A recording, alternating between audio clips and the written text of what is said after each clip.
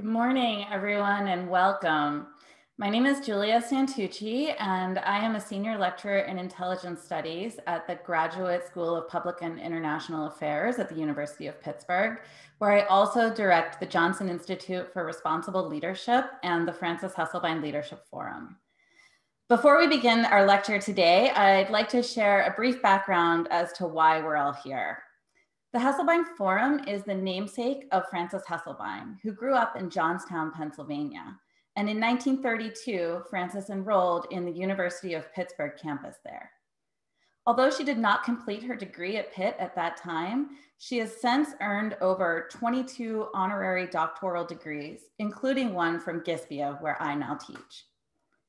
Frances began her career as a volunteer Girl Scout troop leader in Johnstown and she went on to become the CEO of the Girl Scouts of the USA, where she transformed and diversified that organization. For this work, she was awarded the Presidential Medal of Freedom, our nation's highest civilian honor, by President Bill Clinton in 1998.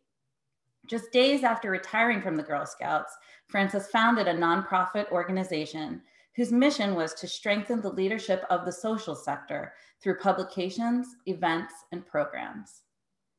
That organization transformed into what is now the Hesselbein Forum within the Johnson Institute for Responsible Leadership here at Pitt. Frances is still very much with us. She's working daily from her office in New York City, and she continues to inspire us all with her commitment to values-based leadership. Our mission at the Hesselbein Forum is to develop and inspire current and future leaders. We do this by publishing the most contemporary insights on leadership in our award winning Leader to Leader journal, supporting graduate students through leadership development training and coaching, gathering students, faculty, and staff, and the greater Pittsburgh public to leadership lectures through this program, the Hesselbein Lecture Series. Most of our previous lectures are online, so please do take advantage of that resource. Before I turn to our current speaker, I also just want to say that the Hesselbein Forum would not be possible without the work of our dedicated staff and student employees. Doreen Hernandez, our administrator at the Johnson Institute, Teresa Baronato, our director of communications, Tiffany Monsall, Frances Hesselbein's executive assistant, and Taylor, Sarah, and Chloe, our student workers, all have contributed time and time again to making events like this possible. So it seems like an understatement to say that 2020 has been a challenging year. The COVID 19 pandemic has contributed to over a million deaths globally, and it's wreaked havoc on our lives. It has also exposed longstanding racial and gender inequities in our societies here in the United States and around the world. People of color in America are exposed to and dying from the disease at disproportionate rates. Nationwide, Black people are dying at 2.3 times the rate that white people do. Globally, women comprise over 70% of healthcare workers, but they are vastly underrepresented in leadership and decision making positions as we respond to this pandemic. Rates of gender based violence have skyrocketed around the world. Women are more likely to lose their jobs because of the pandemic, and an estimated 20 million girls worldwide will never return to school. But in our view, this is not the time to despair. Rather, it's a time to seek out competent, ethical leaders who can guide us through this era of change to create a healthier, safer, more equitable world. Nothing short of transformational leadership will do. We think that the initiatives Heather Anderson is leading at Global Health Corps are transformational, and we are so delighted to have her here with us today. As CEO of Global Health Corps, Heather provides leadership, management, and vision to drive GHC's mission to mobilize a global community of health equity leaders. She addresses the diversity and leadership gap in global health by working to train cross cultural, collaborative, resilient leaders across sectors who can challenge these gaps. In short, GHC recruits and trains diverse leaders to build and strengthen health systems throughout their careers. Prior to GHC, Heather worked with public and private sector initiatives and organizations, including the Gates Foundation, Women Deliver, GlaxoSmithKline Vaccines, and Planned Parenthood Global. We will learn more about Heather's background during this discussion, and we have a lot to learn from her today. So Heather, welcome virtually to Pitt and to the Hesselbein Forum, and I will turn things over to you. Wonderful. Thank you so much, Julia. Thank you to uh, the Hesselbein Leadership Institute team for inviting me today, and thanks to all of you who are joining us for this hour. As you heard from Julia, I'm Heather Anderson, CEO at Global Health Corps. I thought I'd start today by first sharing a little bit about my own professional journey. I began my career as a management consultant in the private sector. I was wearing business suits during my first weeks um, at Andersen Consulting, uh, which is now known as Accenture.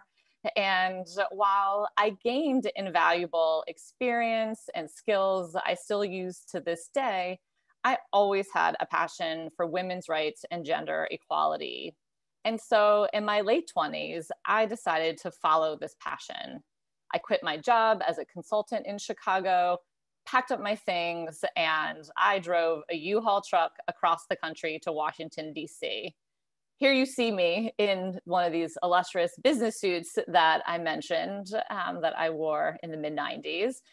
Um, but when I left that behind and moved to Washington, D.C., I was really determined to break through and start the next stage of my career.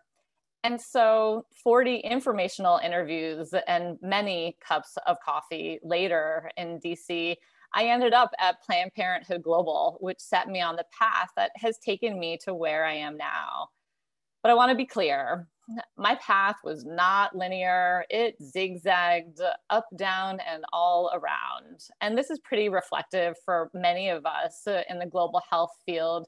There isn't one path, one right answer, and it's up to all of us to figure out our own journeys if you're listening today and you're not sure how you quite fit in, please know that there is a role for everyone in the movement for health equity. You just have to figure out what it is.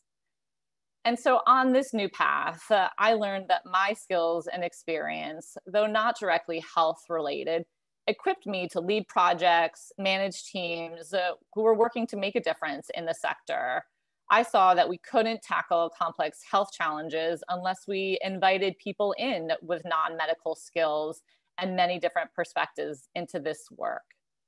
At Global Health Corps, we believe that leadership, specifically effective, diverse leadership, has immense power to save and improve lives. It's our quote, steel curtain defense, to take a Pittsburgh phrase, against crises like COVID 19 yet it is often misdefined and underappreciated. Because right here in Pittsburgh, I'm sure you, many of you have seen examples of both great and less than great leadership throughout this crisis. And because it's whether it's on the football field or spearheading a national response to the pandemic, it's important to recognize and cultivate traits required to lead in today's world empathy, humility, the ability to adapt and innovate, and a deep commitment to collaboration. And we have to build these leadership skills, our own and in others, before a crisis strikes, because a crisis does reveal who we all are. That's why I joined Global Health Corps in 2012. I was inspired by the vision of our CEO, Barbara Bush, the small but mighty team she had assembled, and a mission that really spoke to my heart we celebrated our 10th anniversary back in January before the world changed. It was a big deal because we started, as you'll see here, with just 22 fellows back in 2009. This is just some of them. They took a leap of faith on a brand new program, and now our community is over a thousand strong. Throughout all these years, we have had two guiding beliefs that health is a human right, and the right kind of leaders working together is the greatest lever for change. If you look closely, you'll see that all major progress in history is a story of people coming together across differences to achieve some common goal. It's radically simple, but also very messy, long time work. So the entry point to Global Health Corps is our 13 month fellowship, where fellows fill capacity gaps at health organizations in Rwanda, Uganda, Malawi, and Zambia. Pictured here are some of our fellows and alumni in Rwanda, with Dr. Agnes Binagwaho, who was Rwanda's Minister of Health and now leads the University of Global Health Equity, one of GHC's placement organizations for fellows. Other partners that fellows work at include ministries of health, large INGOs like PATH or Partners in Health, as well as smaller grassroots organizations. The GHC Fellowship provides frontline global health experience, leadership development training through quarterly retreats, and as a community of like minded advocates. We've designed our own curricula grounded in the pillars of authentic and collective leadership, systems and design thinking, with a focus on developing leadership traits like resilience, vulnerability, and commitment to learning. A key part of our program is our co-fellow model. We pair an international fellow with a national fellow who work and learn from each other. COVID has uh, required us to place pause on placing any international fellows in our current cohort. So we have an amazing group of African nationals who are working on the front lines of health equity for this current year. Our alumni community is extremely tight knit, and our focus is harnessing the power of this collective group of leaders. We're deepening our program for alumni because this is really where we see long term change happening, providing them with the resources, opportunities, and access to networks to maximize their impact. Our offerings include management and advocacy training, regional leadership summits, one on one coaching, seed funding for initiatives, and much more. Pictured here are some of our alumni chapter leaders in Malawi distributing sanitation and PPE supplies at schools in Lilongwe. This year, we also launched a collective action coalition for COVID 19, where eight teams of alumni working to address health system gaps in their own communities. Here's one of our Ugandan alums who's part of the Uganda Coalition observing social distance regulations while documenting health needs in a village in Busia district. Overall, our staff at Global Health Corps has been firing on all cylinders to keep driving our mission forward over the past six months. They are working day in and day out to support our thousand person community and demonstrating the same adaptability and flexibility we train our own fellows on. We've also deepened our programming at the intersection of racial justice and health equity. Globally, racism is a social determinant of health, so health leaders have to intentionally address it. More broadly, we want to lead by example in taking a stand against white supremacy within global development, acknowledging the sector's colonial roots and enacting a true power shift. Pictured here are some of our alums in Lusaka, Zambia, marching in solidarity with Black Lives Matters protests back in June, and also some New York City based alums doing the same. So, who are we looking to join us in our community? First, a bit about our fellows and our alumni. Our fellows specifically are around 26 years or so. Um, we are very generation specific of wanting to bring in um, next generation of leaders. So all of our fellows come in under the age of 30. They're highly diverse. They work across health issues and functions, whether that's data, finance, engineering, program management, architecture, supply chain, you name it. So a medical or health experience or background is not required. Neither Fabrice nor Anne, the co-fellows picture here, had technical health skills before joining GHC, but now they're committed advocates.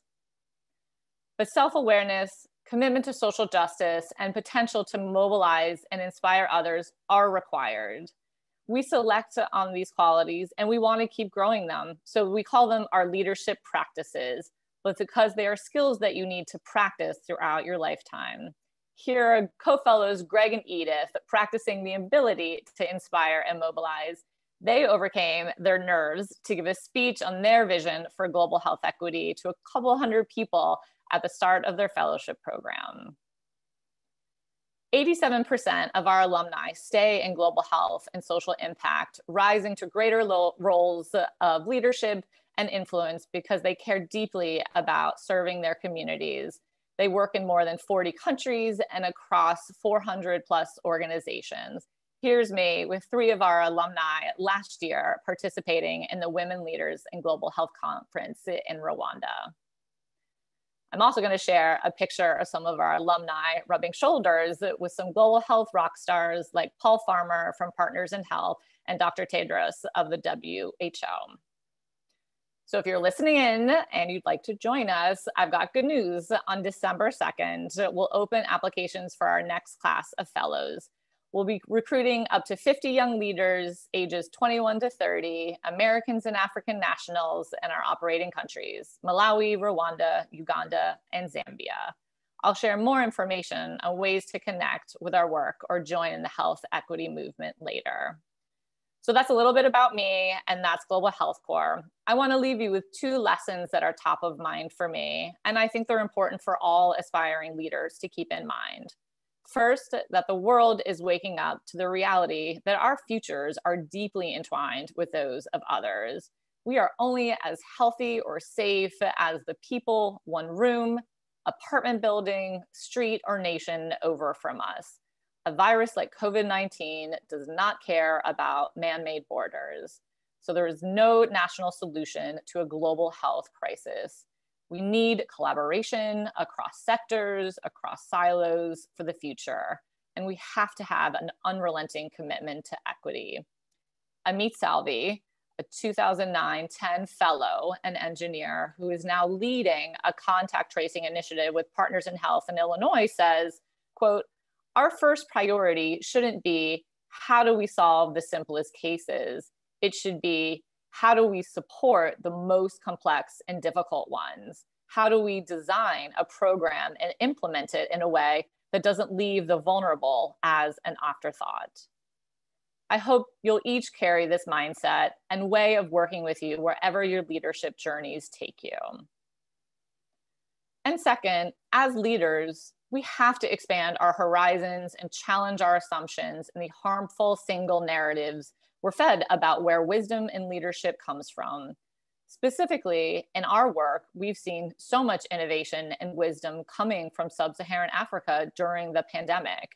Because of Ebola and HIV, many sub Saharan countries have experience, infrastructure, and understanding of how to handle a rapidly spreading virus like COVID we're seeing innovative leaders across the continent applying lessons learned to protect and save lives with limited resources. A powerful example of how the GHC community is rising to meet the, these challenges is our alumna Temi Giwa-Tubosun. Post fellowship, Temi leveraged the GHC network, and with her increased confidence as a leader, she founded LifeBank, a company dedicated to delivering life saving blood and medical supplies to women in delivery across Nigeria. As the pandemic swooped in, Temi and her team adapted their logistics to also deliver PPE and oxygen to dozens of clinics, saving countless lives. This is the kind of innovation, adaptability, and future we see our community driving forward. As Westerners, and especially for those of us who are white and otherwise privileged, exhibiting humility and flexibility is key for anyone wanting to lead authentically, we have to engage in regular self reflection, dialogue, and a critical examination of how our, our, intersectional identities influence how we show up to lead. So I hope you won't shy away from this tough but necessary work. I can say from my experience that it's a hard but rewarding journey. So thank you so much. And with that, I'll turn it back over to Julia and the team to open up Q&A. Thank you, Heather. Um, that was remarkable. I didn't tell Heather that I'm a Pittsburgh native and lifelong Pittsburgh Steelers fan, so I will definitely be using that quote um, from you about effective, diverse leadership being the world's steel curtain defense. I'm glad you liked it. audience, we are going to um, open things up in a minute for Q&A from you. Uh, so if you can use the Q&A feature in the webinar to type any questions that you have. Um, but before we get to the audience questions, I did want to just engage in a little bit of a discussion with you, Heather. Um, and I think Maybe the first question that I'll ask is you are a woman leading an organization in a sector where women are underrepresented, um, talk, especially in leadership positions, uh, mm. as I even mentioned earlier in my remarks. And then you're also a wife, you're a mother, you're a lifelong gender equity advocate. And so, how do these intersecting identities relate to your approach to your work, and um, how do they influence how you approach this role as CEO of Global Health Corps? Sure. Thanks, Julia.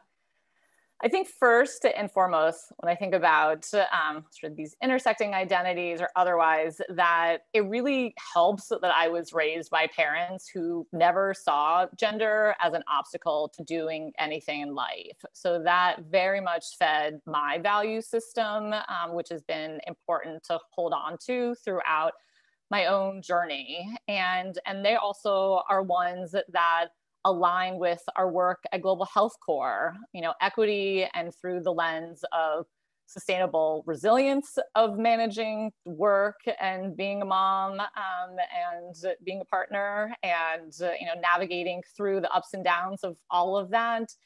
Also through the importance of collaboration because you cannot just do it alone. And so being able to know and figure out how to engage and collaborate with others. Um, because importantly for me, having a network during this time, um, not only now, but throughout my life, has been really important. And at GHC, a fundamental part of our work is building this network because being able to rely on especially peers and mentors of uh, often women um, has really helped me through all kinds of transitions in my life. And, you know, the GHC community is majority female, and we intentionally invest in them with a huge emphasis on building their voices and confidence, but also working to shift the leadership paradigm overall so that traditionally some of the feminine traits, such as um, empathy, humility, self reflection, are embraced and cultivated in all leaders. Um, and then maybe I just say lastly that for me, even though I'd say quite honestly, early in my career as a consultant, while I was, uh, you know, sort of taught that personal life is here and your professional life is here and you just do your work, I have found that as especially I stepped into the role of CEO with our team and during this challenging time of COVID, it's been important even more so to be authentic. And you know my team knows that i'm a working mother and I also had a husband that had COVID um, during this time, and just really being able to share these experiences and give personal updates and have others feel comfortable sharing what they're going through and being supportive during this time has also been such an important part um, as we were thinking about what all of these parts of our own lives look like. Yeah, we talk a lot um, at the Johnson Institute about the importance of empathy. And I think that really comes through in what you're talking about, especially in this time as we are all working from home. I mean, some of you probably heard my dogs barking in the background as I'm trying to ask a question. And um, the, the personal and the professional are certainly melding in ways that um, you're right, especially for women in the workforce, even when I entered my my own career about 15 years ago. Mm-hmm. Um, mm-hmm. It was, you know, you sort of were taught to keep those things separate. And now mm-hmm. um, maybe a benefit of this pandemic is we're bringing the two together. Mm-hmm. I, um, I started my career as a leadership analyst um, in the intelligence community where we mm-hmm. assessed leaders. And I, I, worked on the Middle East, so assessing and looking at and analyzing leaders in that part of the world, um, at least government leaders not so inspirational. Um, mm-hmm. but that that career really taught me how to um, examine the leadership traits and skills and styles of others and try to learn from those. And so i was wondering if you could talk about maybe a leader or two that's been particularly inspirational in your life or who you have tried to um, model your own leadership style after.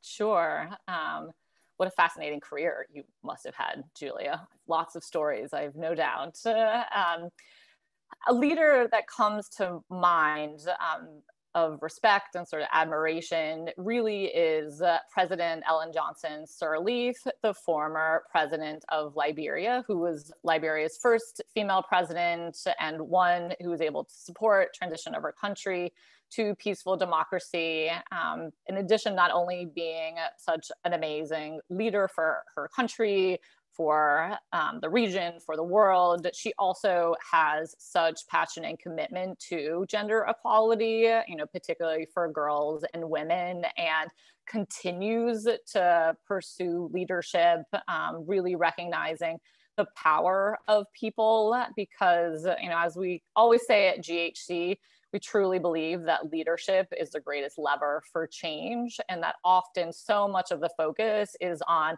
the coolest new technology or what's the new medicine and the reality is there's no silver bullet. And so i really respect president sirleaf's focus on people and leaders and her continuation of that focus throughout her very lengthy and prestigious career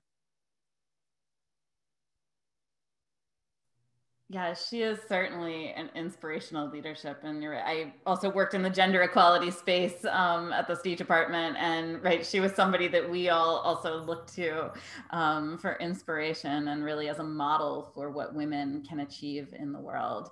Um, I see another question in the chat, and um, I'm giving preference to people named Julia when asking the first question. Um, so Julia in the chat asks, the story of your colleague innovating on PPE delivery is really interesting. Are there any lessons that us in the US could learn from your colleagues in the African countries where you work, um, such as flexibility, different ways of doing things, etc.?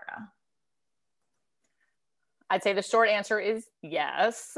And um, you know, I think quite honestly, there was a mis- misstep early on in the pandemic that there wasn't a lot or enough of engagement with countries who had been dealing with epidemics beforehand and what really is needed to be adaptive and innovative. Um, because I think many, many people's jobs, particularly healthcare workers or otherwise, um, were just thrown out the window. And, you know, new playbooks were written and figuring that out. Um, and so, what for me comes to mind as an example is we had fellows this past year when the pandemic struck in Uganda that were working in the Ministry of Health there, and they were working in the mental health unit. And when the pandemic struck, one of the first things that our fellows did were, were, were to reach out to our network and to say, we know that others in the GHC community had worked on Ebola in West Africa and had done a lot of pandemic resp- or epidemic response at that time, working with emergency healthcare workers and mental health response. So instead of having to start over from scratch, really tapping into the experts who had been working in West Africa, taking their materials, adapting it to a more Uganda context so that they could more quickly be able to get the materials, the resources, the support that frontline health workers were going to need from a mental health perspective. And so I would just say that so often people just think that we need to start things from scratch. And I would really encourage us to think about what are communities, what are experts, who, are the people in the communities that are being affected, they are the ones that will tell you what is needed. Um, it doesn't always have to be from a major top down approach, but that it could really be the people are most effective for where you can start figuring out the solutions. And they also don't always have to take a ton, ton of money. And it was, um, I think, such an important part of your remarks at the beginning to to say that we can learn something from other countries, particularly in Africa. I mean, so often we view Africa as the target of our development, mm-hmm. and of course, I mean, the United States, the global um, community has invested a lot in Africa, but there's also a lot that we can learn from them. So thank mm-hmm. you for sharing these stories. Mm-hmm. I think, especially in this current moment, it's just so important that we're not starting from scratch, not reinventing the wheel, um, and learning from yep. one another. Absolutely. So we have um, a pretty diverse mix of attendees out there some who are already into their careers some who are just trying to start out their careers as graduate students um, and then of course some educators including um, our, our brand new dean at GSPIA Carissa Slotterback mm-hmm. and so i'm going to ask kind of a, a question with two variations um, okay. so dean Slotterback has asked how do we best prepare students to do the kind of work that you and global health corps are involved in so, what advice would you give to us as educators? And then um, on the sort of other side of that, we have many students in the audience who have been posting into the Q&A. Um, what advice would you give to them as they're starting out their careers of what, what skills can they be working to develop um, while they're in graduate school, whether it's in a public health program or in a public policy program. Um, so what advice do you have for us educators and then also for our students in the audience?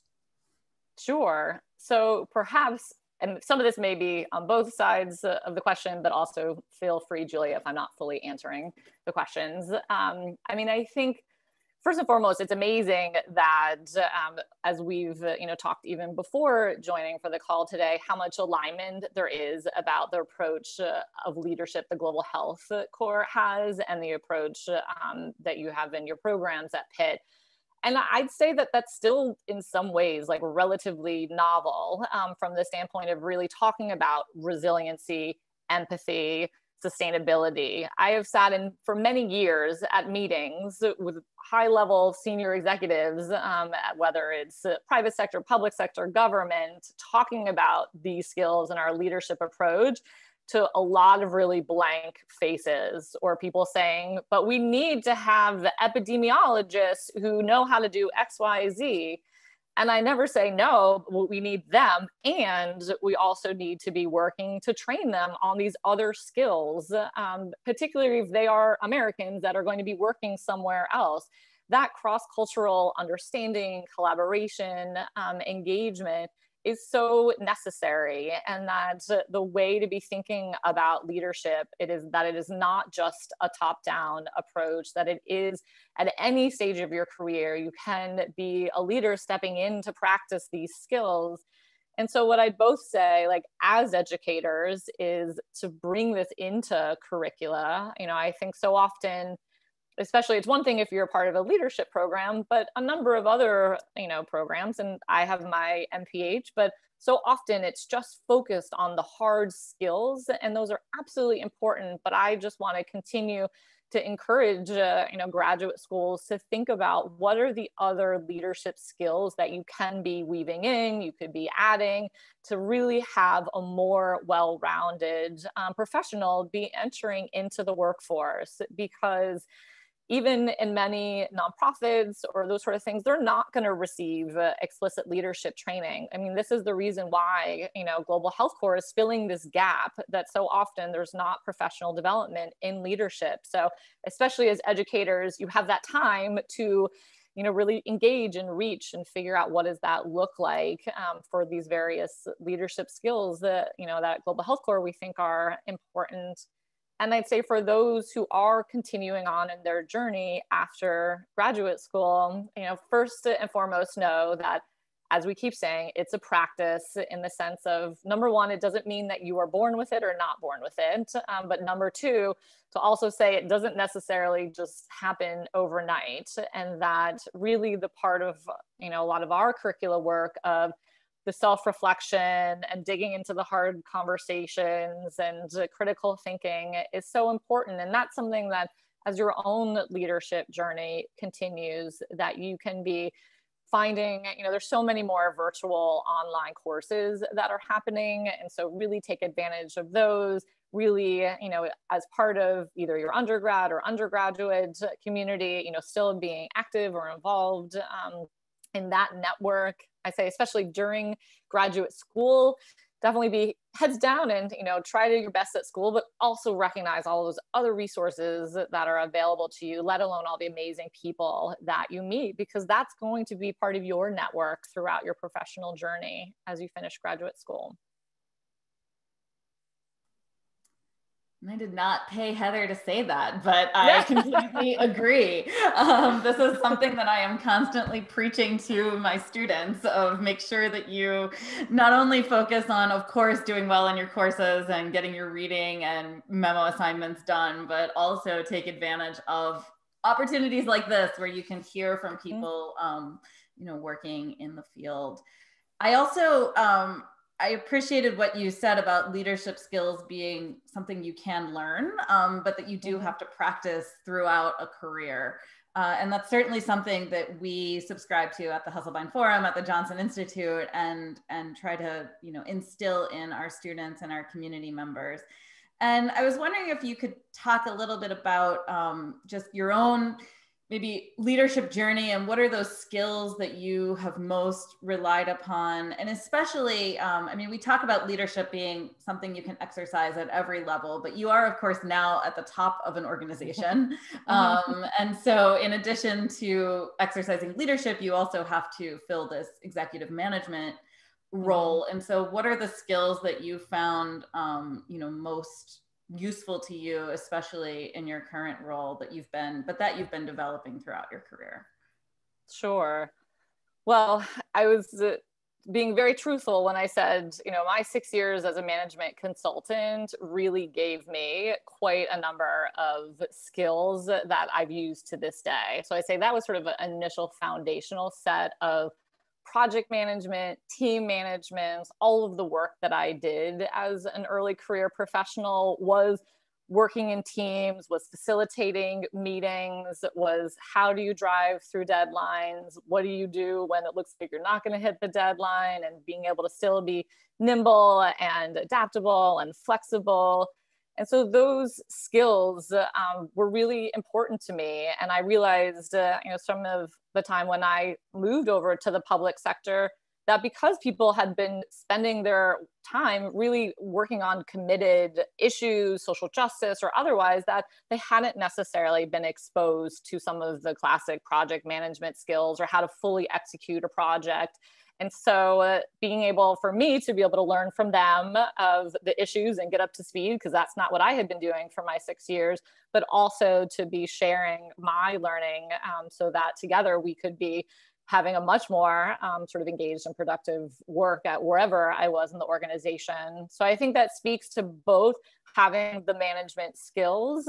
I think as part of it's also the collaboration. I very much enjoy and thrive in working in teams and having had that practice throughout the majority of my career in many different ways, I think has been really important to I think part of it as well as I've you know mentioned earlier, sort of being authentic of who you are, especially um, I like to have an environment at our or at Global Health Corps where people, no matter where they are in the organization, could feel comfortable coming to me or coming to anyone else in the organization and bringing ideas or questions or concerns. And while that's not always perfect, you know, that's something that for me feels really important to continue to strive for. And then I'd say too, um, you know, obviously being able to engage in uh, you know with lots of different types of people uh, from stakeholders who are at the executive level to community members to our fellows alumni to our placement organization. So really building especially if you're going to work in the global health space those cross-cultural sort of muscles and skills um, is really important. And that continues to be a learning journey especially you know for me particularly in an executive role your focus on collaboration, I think, um, goes nicely into a question from one of the students in our audience, um, Justin Dada, who is um, a PhD student in uh, the health fields, but then also a GSPIA student as well, so with a policy bent. And he mm-hmm. asks, mm-hmm how do you foster a collaborative environment with governments, funding, technology, and healthcare workers that may have different priorities? So, how do you work across all of these different um, constituencies that don't often share the same the same goals, even? Mm-hmm. Thanks, Justin, for the question. I um, would say that first and foremost, it is the relationships. It's building and working to build trusting relationships with those who you want to be engaged in. And that if you are only coming in with your agenda and what you think has to be done without time, energy, space to hear others' perspectives and understanding where they're coming from, it's really going to be hard to make progress. And and this is really fundamental to our work at Global Health Corps because oftentimes we get asked, you know, like, why don't you just do specifically HIV AIDS work or just malaria or just reproductive health or just government or just the private sector? and and while it's messy we absolutely think that bringing together people that have different backgrounds and different experiences and are more of an activist or maybe they're more of an internal you know entrepreneur intrapreneur that really people that like to work in government understand how to navigate bureaucracy versus the entrepreneurs. So much of this still comes back to the understanding and the capacity for listening and humility and perspective in order to move it forward. Because yes you can still have very different goals in mind um, but also you know sort of going to try to move forward and you need to be working with other partners which likely will lead to much greater success. You're going to need to figure out how to think creatively how to adapt how to be doing things potentially in different ways than you might have done them before and that I think um, is another good transition into another question from one of our students about Global Health Corps' work. Um, and it's from Miguel Ortiz, who asks When considering programs for the fellows and the co fellows, how do you integrate the opinions of the people in the communities that you're serving so how do you mm-hmm. um, how do you know what they want what their needs are and then integrate that into your programming that is a great question and from the very very first year at Global Health Corps, we were very much grounded in the co creation of our program with fellows, especially when we were tiny staff and this was all just trying to figure out what was going to work and what was going to resonate or not. It was from very deep, intense conversations with our fellows. We have quarterly feedback surveys during our quarterly retreats. We do in person conversations about our programming.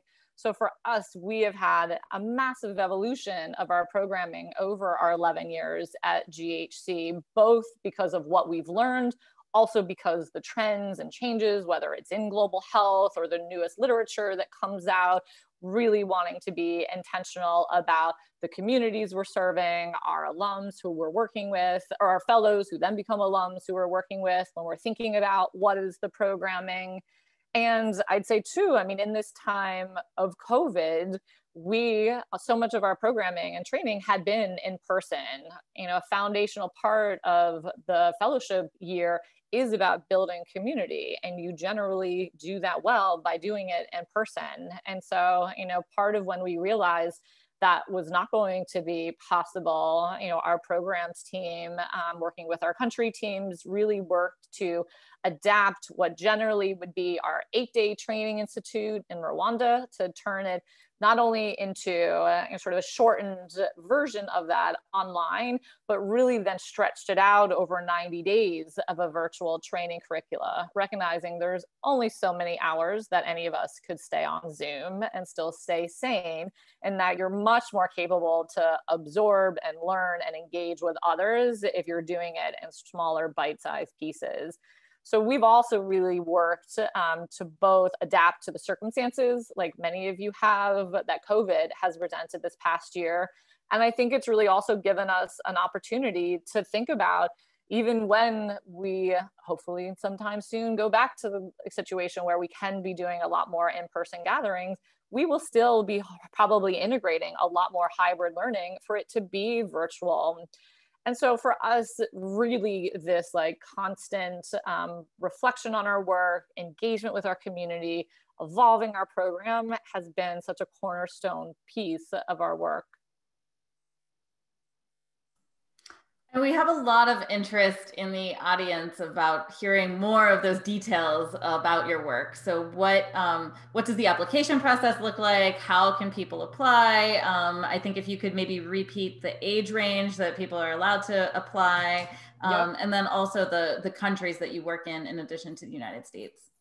Sure, that sounds good um, and ex- glad that there's excitement. Um, our recruiting folks will be very pleased. Uh, so applications will open December 2nd. I'm sure we can send you know information out um, through Julia um, and the Institute about application information. But what happens is that even before applications open, we work on a pretty rigorous partner selection process to first identify which health organizations in our countries have capacity gaps, where two young professionals can be filling those gaps that are non-medical, non-clinical. And so this is everything, as I mentioned, supply chain, monitoring and evaluation, programs, communications.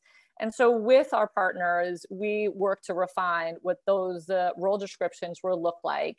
And so on December 2nd, when our applications open on the Global Health Corps website, all of those positions are posted and all applicants are allowed to apply to up to three roles um, and then we have a five stage selection process um, that goes from you know interviewing with community members to a last stage of you know meeting with or virtually with the partner organization for them to make the final decision our fellowship year begins the beginning of july every year it is a cohort process. Uh, we work in Rwanda, Uganda, Zambia, and Malawi for this coming year. We are planning to go back to our traditional model of an international fellow, which for now is defined as someone from the US who's paired with a national fellow. So, for example, it could be the international fellow is going to be doing monitoring and evaluation at Partners in Health and their Rwandan co-fellow could be doing supply chain and that they are going to be co-fellows together working in their different departments but also having the opportunity to work together in this 13 month fellowship where in addition to having real hands-on experiential learning of being basically an employee at this organization that you have a supervisor that there is intensive leadership training and programming that's given throughout the year which also includes a professional development um, award of $600 that you can use to build your professional skills. We provide housing allowance, so we provide a living stipend, health insurance, a completion award at the end of the fellowship year. So the intention is that these 13 months, you are covered financially. No one is getting ri- rich off of being a Global Health Corps fellow, but that the goal is that we recognize you are leaving your career, your job, your home, whatever, to be joining as a fellow. And so you become part of the community and part of this fellowship. I would say you're getting rich in other ways beyond perhaps financial. that is correct. very, very true. Sure, it is an enriching experience. yes, yes. Um, this is a question from Guy St. Clair in New York, who just is curious as to how your group selects the countries in which mm-hmm. you operate. And Guy has some experience in Kenya, and um, I see that Kenya is not one of your countries now. But how did you select the countries that that you are operating in? Sure. Thanks for the question, Guy. So our countries really started from the, um, the early days of Global Health Corps when Barbara and the other co founders were meeting with a lot of different international NGOs and ministries of health, sort of talking about this global health corps co fellow model and next generation leadership building.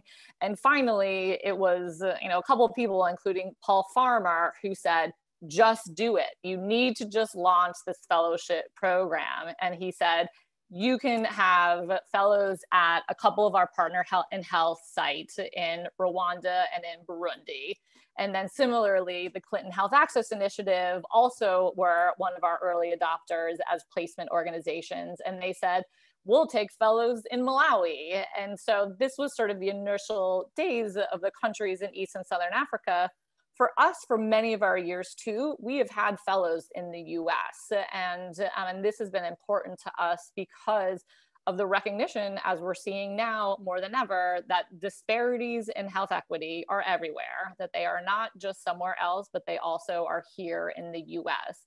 We're currently on pause with our US fellowships because we're evaluating where and how we really think impact for our work at Global Health Corps can look in the US. So we anticipate making a decision about what our reentry from a fellowship lens looks like in the US, although we currently have more than 400 alumni that are US based that we're continuing to work with and supporting their careers um, and professional achievements.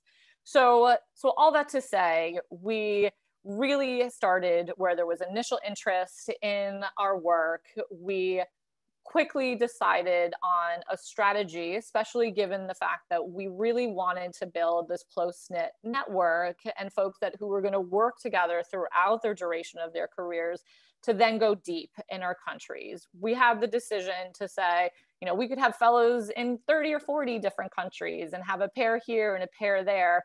But we felt from a tipping point perspective that we should be building out hubs. And so that's why we're now in Rwanda, Uganda, we've been in Burundi, we still have alums that are there in Zambia, Malawi. So really building out the hubs so that after the fellowship year, not only have they built strong relationships there, but that then they are entered and sort of ushered into this larger community who are still working and health, who are rising through the ranks, and that together, you know, as we're seeing now through our collective action work, are able to make much greater change and make much greater progress in our communities.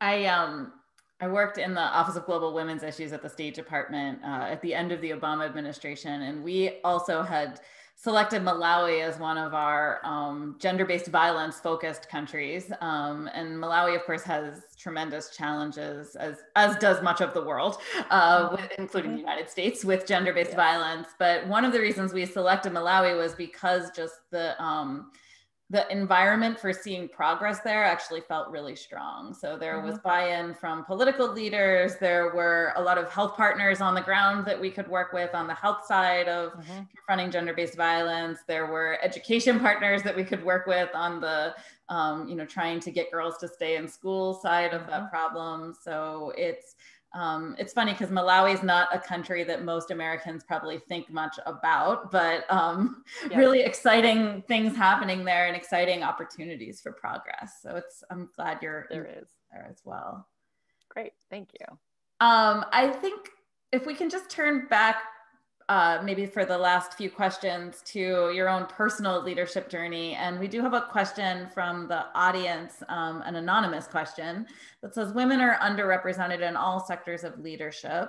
What were the most formative steps in developing your professional confidence? What obstacles did you face in this journey of professional confidence? Great question.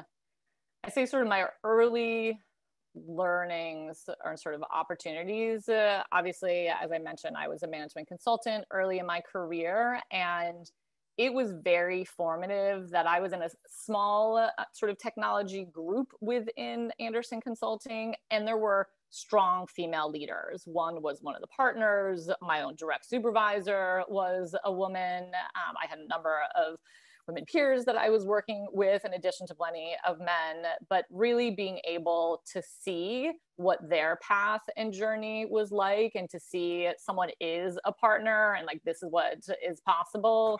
And to be able to also have someone who I knew was having my back because I did have some definitely sort of early challenges from a gender equity perspective early on in my career where you would go to meetings and even if you were the one that you know was supposed to be running the meeting and then you'd realize there was sort of the deferring to the men in the room that it really took me by surprise um, because i just hadn't had that professional experience yet because i was in my early 20s and so being able to have uh, female mentors to be able to talk about that with and how did they navigate that and what did that look like really gave me the confidence that um, that I could be able to you know be resilient, figure out how to navigate it, um, continue to feel strongly about my beliefs and opportunities. Um, and not just say like, oh, this is how it has to be. And you know, during my time as a consultant, I helped to start the women's group at Andersen so that we could have regular meetings and engaging with each other. I did my own volunteer opportunities um, for different women's issues, which felt important to me.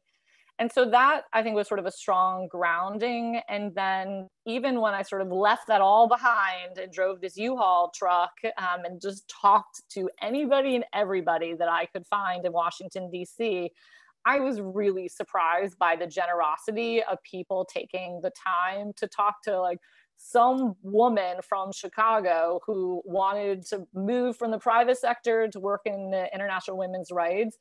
And that alone uh, again you know seeing these people that were more established in their career giving me the time was really an important part of my journey and is why I always and often, and you know, those of you who are on the line, you are welcome to follow up with me. I feel it very important to pay it forward in the sense of, you know, people want to talk to me for, you know, half hour, 45 minutes about their journey and their experience or get my perspective on thing. I think that carving out that time is really important and really critical. And so the way that I've been mentored throughout my career, I think as I continue to get older in mine um, is an important role for me to be playing as well.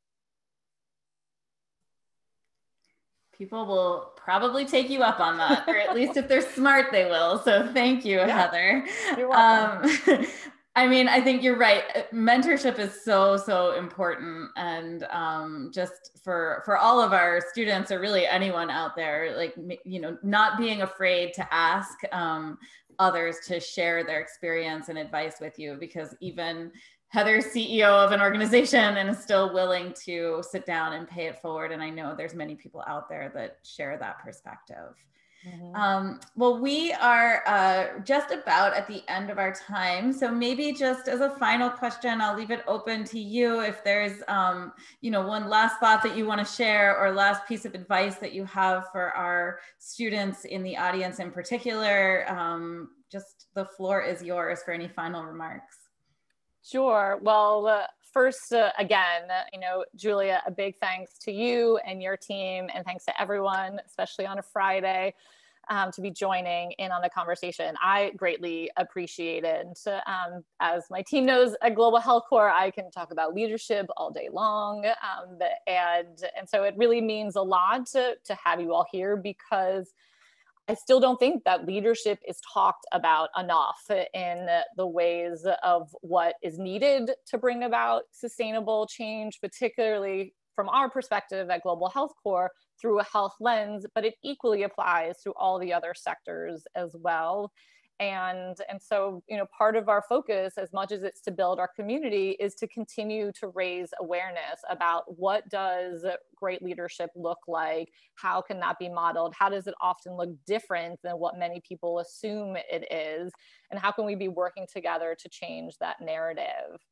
And probably a last closing closing thought would say would be you know something that i mentioned before that I truly believe that everyone has a role to play. And so, if you are interested, if you are committed to health equity and you want to figure out, uh, you know, how you fit in, just keep talking to people and reading and building your networks and tapping in what Julia said. Don't be afraid to ask. I know sometimes it can feel hard. You can feel like maybe you're silly, maybe you don't have a role, but our fellows have come from every kind of background, and it really is more about your commitment to health equity, willing to embrace the leadership skills and practices, and applying your own talents to this work that desperately needs everyone um, in order to make the change that we want to see.